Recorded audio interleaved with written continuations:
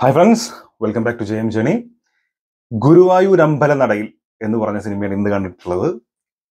ഇതിന്റെ ട്രെയിലറും മറ്റ് സംഭവങ്ങളൊക്കെ കണ്ട് വളരെ ഒരു നല്ല ഒരു സിനിമയായിരിക്കും എന്നുള്ള പ്രതീക്ഷയോട് കൂടി തന്നെയാണ് സിനിമ കാണാൻ പോയിട്ടുള്ളത്.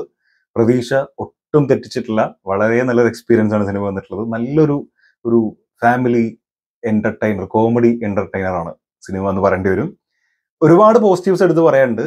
എന്നാലും ആദ്യം പറയാൻ തോന്നുന്നത് ഇതിന്റെ പെർഫോമൻസുകളെ കുറിച്ചിട്ടാണ്. കാരണം ഇതിൽ വിനു രാമചന്ദ്രൻ എന്നുകൊണ്ടുള്ള റോൾ ചെയ്തിട്ടുള്ളത് ബേസിലാണ്. അതുപോലെ ആനന്ദൻ എന്നുകൊണ്ടുള്ള ക്യാരക്ടർ ചെയ്തിട്ടുള്ളത് പൃഥ്വിരാജ് സുകുമാരനാണ്. എനിക്ക് ഈ പൃഥ്വിരാജിന്റെ പൊതുവെയുള്ള ഈ കോമഡി സിനിമകൾ അത് അദ്ദേഹത്തിന്റെ മറ്റ് ജോണറുള്ള സിനിമകളുമായിട്ട് കമ്പയർ ചെയ്ത് നോക്കുന്ന സമയത്ത് അദ്ദേഹത്തിന്റെ കോമഡി സംഭവങ്ങൾ എനിക്ക് വല്ലാണ്ട് അങ്ങനെ വർക്ക് ചെയ്യാറില്ല. അമർ അക്ബർ അന്തോണി മാത്രമാണ് എനിക്ക് കുറച്ചൊന്ന് എൻജോയ് ചെയ്യാൻ കണ്ടിട്ടുള്ള സിനിമ ബാക്കിയൊക്കെ കോമഡി ജോണറിൽ വന്ന സിനിമകൾ അങ്ങനെ ഞാൻ കമ്പാരിറ്റീവ് ചെയ്യണം. മോശമാണെന്നല്ല മറ്റുള്ള ജോണറിൽ ചെയ്യുന്ന സിനിമകൾ വെച്ച് നോക്കുമ്പോൾ ഈ കോമഡി കുറച്ചൊരു ഒരു ഒരു പടി താഴ്ന്നു നിൽക്കുന്ന പോലെ എനിക്ക് ഫീൽ ചെയ്യാറുള്ളൂ. പക്ഷെ ഈ സിനിമയിൽ പുള്ളിക്കാരൻ അത് ഭയങ്കര മനോഹരമായിട്ട് മികച്ച രീതിയിൽ ചെയ്തിട്ടുണ്ട്. ഒരു പക്ഷെ അത് പുള്ളി ഇന്റർവ്യൂലൊക്കെ വന്ന് പറഞ്ഞിട്ടുണ്ട് ഡയറക്ടറിനാണ് ക്രെഡിറ്റ് പോകുന്നത്. ഡയറക്ടർ എന്ത് പറഞ്ഞോ അത് മാത്രമേ ചെയ്തിട്ടുള്ളൂ എന്നുള്ളത്. അങ്ങനെ ആകുമ്പോൾ വിപിൻ എന്ന് പറഞ്ഞുള്ള ജയ് ജയ് ജയ് ഹേ പോലുള്ള ഒരു മികച്ച സിനിമ നമുക്ക് തന്നിട്ടുള്ള സംവിധായകൻ. അതല്ലാണ്ട് സിനിമ ചെയ്തിട്ടുണ്ട് എല്ലാം മികച്ച സിനിമകൾ തന്നെയായിരുന്നു.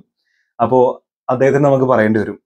എന്തായാലും പൃഥ്വി എനിക്ക് ഭയങ്കര ഇഷ്ടമായി പിന്നെ ഞാൻ പറയാൻ പറയേണ്ട പ്രധാനപ്പെട്ട കാര്യം എന്ന് പറഞ്ഞത് ഈ സിനിമ ആദ്യം പ്ലാൻ ചെയ്ത സമയത്ത് പൃഥ്വിയുടെ ഇന്റർവ്യൂ പറഞ്ഞു. ഇന്റർവ്യൂ കണ്ടിട്ടുള്ള ആൾക്ക് തീർച്ചയായിട്ടും മനസ്സിലായിട്ടുണ്ടാവും. ഇത് പ്ലാൻ ചെയ്ത സമയത്ത് വേറൊരു ഡയറക്ടറാണ് പൃഥ്വിന്റെ അടുത്ത് സ്റ്റോറി പറഞ്ഞിട്ടുള്ളത്. ആ സമയത്ത് ഈ കഥാപാത്രങ്ങൾ നേരെ തിരിച്ചിട്ടായിരുന്നു. അത് ബിനു രാമചന്ദ്രൻ എന്ന് പറഞ്ഞ ബേസിൽ ചെയ്ത കഥാപാത്രം പൃഥ്വിരാജും പൃഥ്വി ചെയ്തിട്ടുള്ള ആനന്ദൻ എന്ന് പറഞ്ഞ കഥാപാത്രം വേറെ ഏതോ നടനായിരുന്നു. പേരറിയാത്ത അവർ വെളിപ്പെടുത്തിയിട്ടുള്ള അങ്ങനെ ഒരു നടനായിരുന്നു എന്നാണ് പറഞ്ഞത്. അത് കേട്ടാണ് പ്രത്യേകത എന്താ പറയുക കമ്മിറ്റ് ചെയ്തിട്ടുള്ളത്. പക്ഷെ എനിക്ക് തോന്നുന്നു അങ്ങനെ തിരിച്ചു ചെയ്തിരുന്നെങ്കിൽ ബേസിലിന്റെ സ്ഥാനത്ത് പൃഥ്വി വന്നിരുന്നെങ്കിൽ ഒരിക്കലും ഒരു പക്ഷേ ഇത്ര എൻജോയ് ഇത് കാണാൻ പറ്റുന്നു എനിക്ക് തോന്നണില്ല. ഒരു പക്ഷേ സിനിമ വരുമ്പോൾ അന്ന് നമ്മൾ അങ്ങനെ കണ്ടിരുന്നെങ്കിൽ ചിലപ്പോൾ അത് ഓക്കെ ആയിരിക്കാം. പക്ഷേ ഈ സിനിമ കണ്ടു കഴിയുമ്പോൾ പെർഫെക്റ്റ് കാസ്റ്റിംഗ് ആയിട്ടാണ് തോന്നുന്നത്. പെർഫെക്റ്റ് എന്ന് പറഞ്ഞാൽ പക്ക കാസ്റ്റിംഗ് ആയിട്ടാണ് ഫീൽ ചെയ്യുന്നത്. കാരണം അത് അങ്ങനെയാണ്. അത് ബേസിലിന്റെ ക്യാരക്ടർ പക്ഷേ ഇനിയിപ്പോൾ വേറെ ആരും ചെയ്താൽ പോലും പൃഥ്വിയുടെ ക്യാരക്ടർ അത് പൃഥ്വി തന്നെ ചെയ്യണം എന്ന് നമ്മൾ ചിന്തിക്കുന്ന രീതിയിൽ എനിക്ക് പേഴ്സണലി ഫീൽ ചെയ്തു. ബേസിലാണെങ്കിലും അടിപൊളി തന്നെയാണ്. കോമഡി പുള്ളിക്കാരന്റെ നമ്മളൊന്നും പറയേണ്ട ആവശ്യമില്ല. പുള്ളി വെറുതെ സ്ക്രീനിൽ വന്ന് നിന്നാൽ പോലും നമുക്ക് ചിരി വരും. ആ ഒരു അത്തരത്തിലൊരു ഇമേജ് ആണ് പുള്ളി ഉണ്ടാക്കിയെടുത്തിട്ടുള്ളത്. ഈ സിനിമയിൽ അങ്ങനെ തന്നെയാണ്. പക്ക പുള്ളിനെ കാണിക്കുന്ന മുതൽ ഏറ്റവും എൻഡ് വരെ അത് ഇങ്ങനെ പുള്ളിനെ കാണുമ്പോൾ ഒരു ചിരി മുഖത്ത് ഇങ്ങനെ നിൽക്കുന്നുണ്ട് അത് ഭയങ്കര ഫീൽ ആയിരുന്നു തുടക്കം മുതൽ തന്നെ. ഇതിൽ ചെയ്തിട്ടുള്ള നിഖില നന്നായിട്ട് ചെയ്തിട്ടുണ്ട്. അതെ അവരുടെ ക്യാരക്ടറിന് സംഭവിക്കുന്ന ഒരു ഒരു സംഭവം. അതാണ് ഇതിന്റെ മെയിൻ തീം തന്നെ.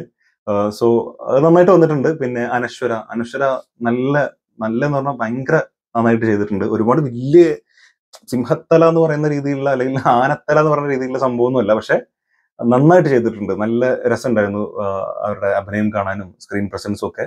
പിന്നെ സ്ക്രീൻ പ്രസൻസ് പറയുമ്പോൾ പറയേണ്ട മറ്റൊരു കാര്യം ഇത്രയും നടന്മാർ ഒരുപാട് നടന്മാരുണ്ട്. ബേസിലുണ്ട് മറ്റേ കോമഡി കുറെ ആൾക്കാരുണ്ട്. സാഫ് ബോയ് ഉണ്ട് അതല്ല യോഗി ബാബു ഉണ്ട് പിന്നെ ജഗദീഷ്. അങ്ങനെ പറയുകയാണെങ്കിൽ ഒരുപാട് നടന്മാരുണ്ട്. പക്ഷെ ഇവരൊക്കെ ഉണ്ടായിട്ടും പൃഥ്വിരാജിന്റെ സ്ക്രീൻ പ്രസൻസ് എന്ന് പറഞ്ഞ ഈ സിനിമയിൽ ഭയങ്കരമാണ്. കാരണം പുള്ളി സ്ക്രീനിലേക്ക് വരുന്ന സമയത്ത് നമുക്കത് അനുഭവപ്പെടും. പുള്ളി ഇങ്ങനെ നിറഞ്ഞു നിൽക്കുന്ന പോലത്തെ ഒരു ഫീൽ അത് എക്സ്പീരിയൻസിന്റെ ആവാം അല്ലെങ്കിൽ അവർക്ക് കിട്ടിയിട്ടുള്ള ഒരു ഓറ ഒരു പക്ഷെ അങ്ങനെ ആയിരിക്കാം. എന്തായാലും അത് ഭയങ്കരമായിട്ട് സിനിമയിൽ അനുഭവപ്പെടുന്നുണ്ട്. എസ്പെഷ്യലി ലാസ്റ്റ് ഭാഗങ്ങളിലൊക്കെ സ്ലോമോയിൽ ഇങ്ങനെ അത് മാസ് ബി ജി എമ്മിലൊക്കെ വരുന്ന ചില സാധനങ്ങൾ വെക്കുന്നത് നമുക്ക് വാവ് എന്നുള്ളൊരു സംഭവം തോന്നും. അയ്യോ ആനന്ദം വരുന്നുണ്ടല്ലോ എന്നുള്ളൊരു ഫീലൊക്കെ കൊണ്ടുവരാൻ അത് അത് ഭയങ്കരമായിട്ട് കേട്ടോ. അത് എടുത്തു വരണ്ട എനിക്ക് ഒരുപാട് സ്ഥലങ്ങൾ അങ്ങനെ ഫീൽ ചെയ്തു. വേറെ ആർക്കെങ്കിലും അങ്ങനെ ഫീൽ ചെയ്തിട്ടുണ്ടെങ്കിൽ തീർച്ചയായിട്ടും കണ്ടിട്ടുള്ള ആളുകൾ ഈ അഭിപ്രായം കമന്റിൽ രേഖപ്പെടുത്തുക. എനിക്കൊന്ന് അറിയണമെന്നുണ്ട്.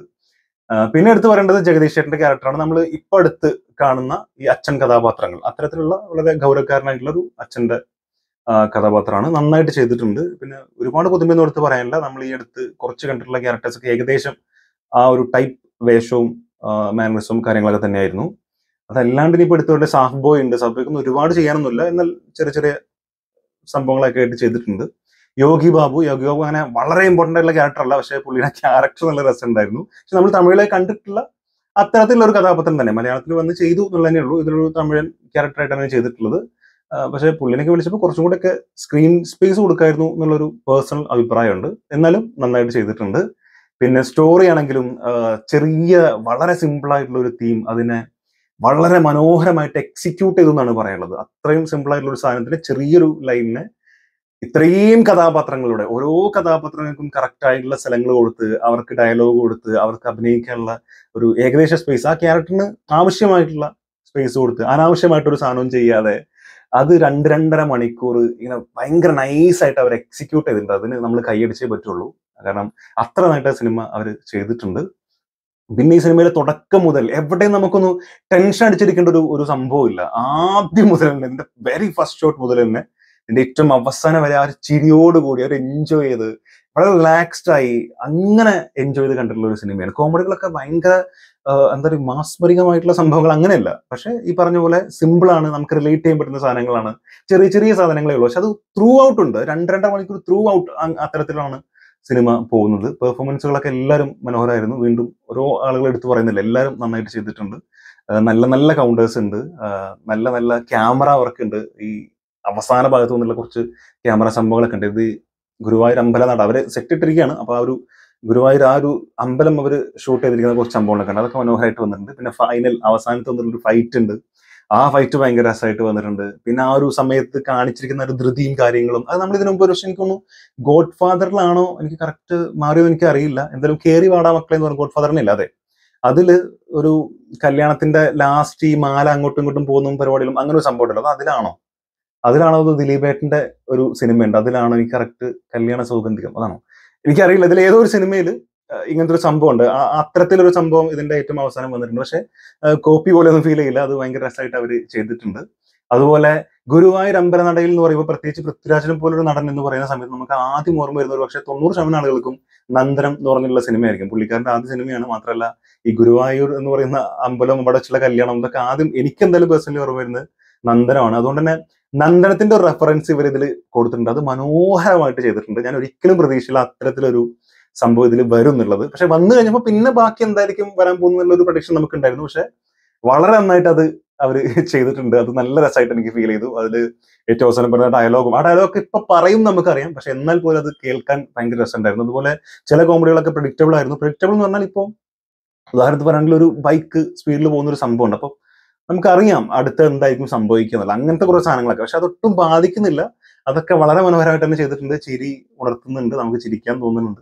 അങ്ങനെ എന്റെ അഭിപ്രായത്തിൽ വളരെ നന്നായിട്ട് ചെയ്തിട്ടുള്ള വളരെ നന്നായിട്ട് എക്സിക്യൂട്ട് ചെയ്തിട്ടുള്ള തുടക്കം മുതൽ അവസാനം വരെ വളരെ റിലാക്സ്ഡ് ആയി എൻജോയ് ചെയ്ത് ചിരിയോടുകൂടി കാണാൻ പറ്റുന്ന ഒരു പക്ക ഫാമിലി കോമഡി എന്റർടൈനർ ആണ് അമ്പല നടയിൽ എന്നാണ് എനിക്ക് തോന്നുന്നത്. തീർച്ചയായിട്ടും നിങ്ങൾക്ക് കാണാവുന്ന സിനിമയാണ്. തിയേറ്ററിൽ പോയി തന്നെ കാണുന്നതായിരിക്കും നല്ലത്. ആ ഒരു മൊത്തത്തിലുള്ള അറ്റ്മോസ്ഫിയർ ഭയങ്കര രസമുണ്ട് ഒരുപാട് ആളുകളുടെ കൂടെ ഇരുന്ന് ചിരിച്ചിങ്ങനെ എല്ലാ ഭാഗത്തും എല്ലാവരും ഒരുപോലെ ചിരിച്ച് കാണുന്ന ഒരു സിനിമ എന്നൊക്കെ പറയുമ്പോൾ കുറച്ചുകൂടി നല്ലതാണെന്നാണ് എന്റെ അഭിപ്രായം. എന്തായാലും കണ്ടിട്ടുള്ള ആളുകൾ തീർച്ചയായിട്ടും മറക്കാതെ നിങ്ങളുടെ അഭിപ്രായങ്ങളൊക്കെ കമന്റിൽ രേഖപ്പെടുത്തുക. Thank so much for watching അടുത്തവരായിട്ട് കാണാം. കാണുന്നവരെ